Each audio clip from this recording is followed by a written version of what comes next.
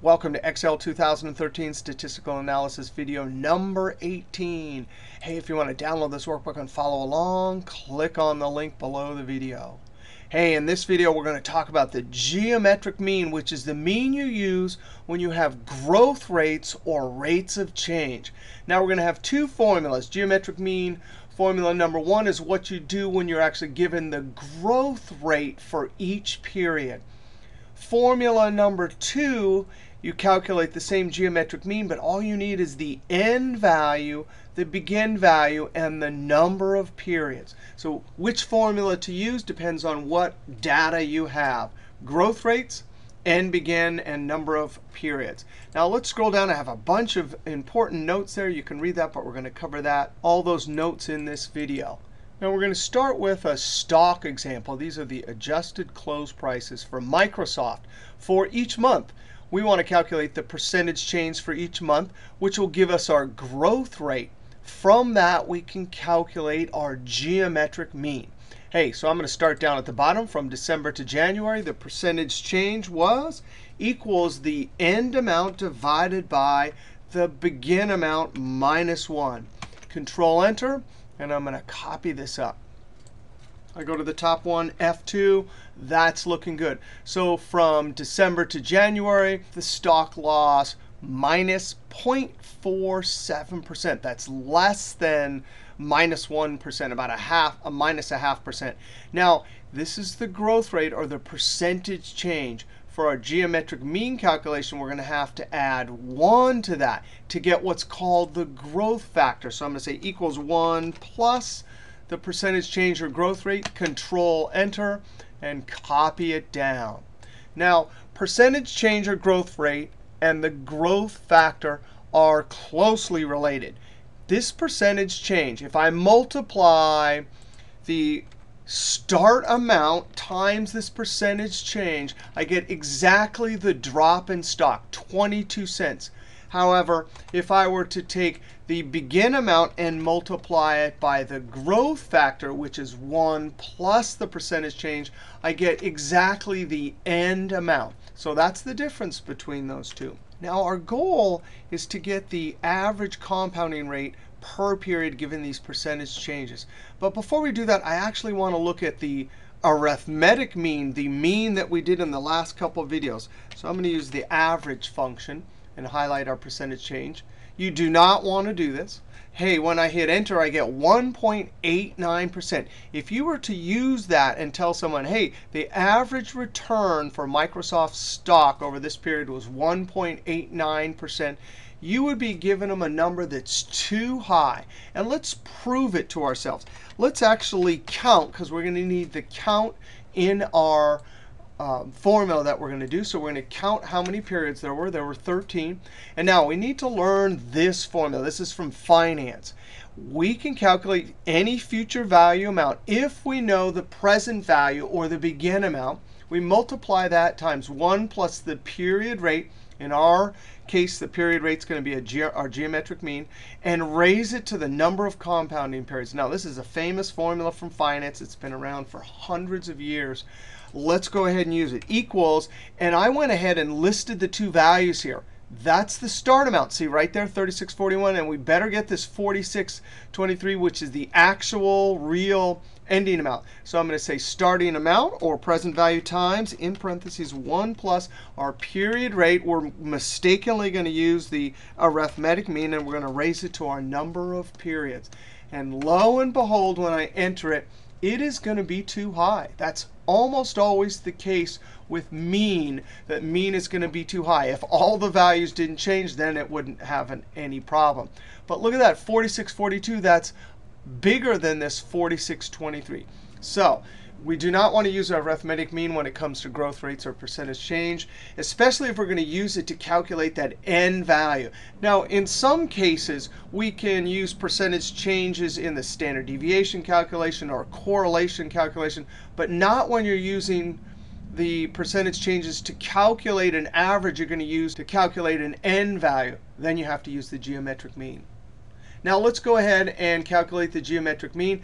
Now we don't really have to do this whole formula here and take the nth root. We could do that, but there's a built-in function. And what is it called? GEOMEAN. Now we are going to have to make sure that a couple things are true. These numbers, that's all of the rates over here, but we can't use the growth rate or percentage changes. You have to use the growth factor. So that's the 1 plus. Now, when I enter this, the geomean will actually spit out the growth factor. That's the number we can actually raise to the 13th power and get the correct end value. Now, oftentimes you don't want the growth factor. You actually want the individual growth rate, the average compounding rate. So we can do this again. It's geomean, and I'm going to take all of these. But you simply subtract 1. And that'll give you the actual true average compounding rate. Now let's go ahead and count. Because we're going to do our future value calculation again, equals, and I'm going to start with the begin amount or the present value. They call it present value in finance times 1 plus our actual geometric mean. And we're going to raise it to that 13. And boom, just like that, we see we get the correct end amount. So that's why we shouldn't use the arithmetic mean. And instead, when we're given growth rates, use the geometric mean. Again, if we're calculating the end value, that's what we have to do. Now let's look at our amazing formula number 2 all you need to calculate the geometric mean is the begin and end amount and the number of periods. Now, you have to be careful when you make this calculation because we're going to have to take the end amount and divide it by the begin and then raise it to the 1 divided by n, which is the nth root. So I'm going to very carefully, in parentheses, because I want to force the division to happen first. The end amount divided by the begin amount close parentheses, and I'm going to raise this caret, and I need to raise it to 1 divided by the count. And I have to force this division to happen also before that caret. So there you go. Now, right now, this will give me the average compound factor. And there it is. That's quite amazing. All I had was the, the end and the start and the number of compounding periods. But here, if you want to do that same formula, now if we subtract 1, we get the GEOMEAN. Now, actually, we want to see an even easier way to do this. And this is brand new in Excel 2013. We can use the RRI, returns the equivalent interest rate for a growth of an investment. It needs NPER, which is total number of periods, N, comma, the present value, that's where we started our begin, and the end or future value. And you got to be kidding me. Boom, there it is. Excel 2013 RRI function is totally awesome. All right, now let's go look at two more examples for geometric mean. Here we have the end, the begin, and the number of periods. I'm going to use my RRI.